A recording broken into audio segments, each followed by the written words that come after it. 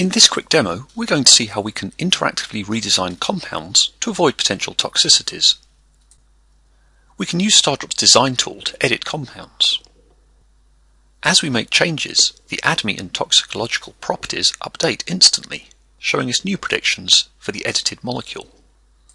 We can also use Stardrop's glowing molecule feature, which will highlight regions of a molecule having a particular influence upon a property.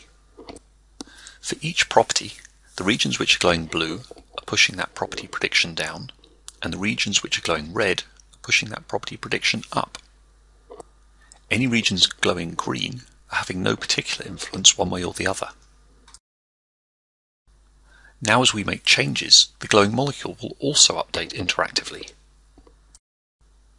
Any functional groups causing toxicity alerts will glow red. In this case, we have now introduced a functional group which is causing a plausible alert against the carcinogenicity endpoint. In our dataset, we have lumiracoxib, which we can see has an alert against hepatotoxicity. Of course, since its original approval, lumiracoxib has been withdrawn from the market in several countries due to hepatotoxicity concerns.